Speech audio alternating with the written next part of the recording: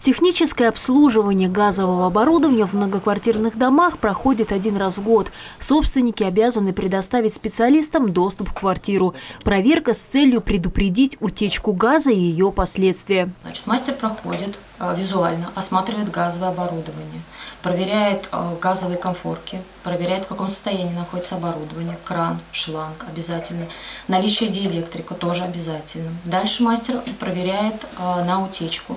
То есть это может быть прибор, обмыливание обязательно. Если мастер обнаружил утечку, он обязан ее устранить. У собственника должен быть договор с газовой организацией на основании 410-го постановления правительства Московской области. У нас есть перечень специализированных организаций Московской области, которые включены в реестр Данным реестром вы можете ознакомиться на нашем сайте Госжилинспекции Московской области. Важно проверять и вентиляцию в квартире. Это делают четыре раза в год. Тяга вент-канала в ванной, туалете и на кухне должна быть исправной. Скопление переработанного газа может стать причиной отравления. В настоящее время очень большой процент аварийности в домах с газовым оборудованием. Причина – неисправность гибкой подводки. Она находится в зоне ответственности собственника.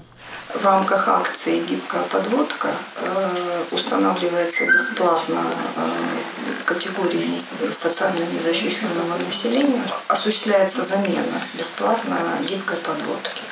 Важно соблюдать технику безопасности во время приготовления пищи. Либо включать вытяжку, либо открывать окно. Обогреваться газом запрещено. Если почувствовали запах газа, надо перекрыть кран и позвонить в 104 или 112 и открыть окно. Важно не менять самим газовое оборудование.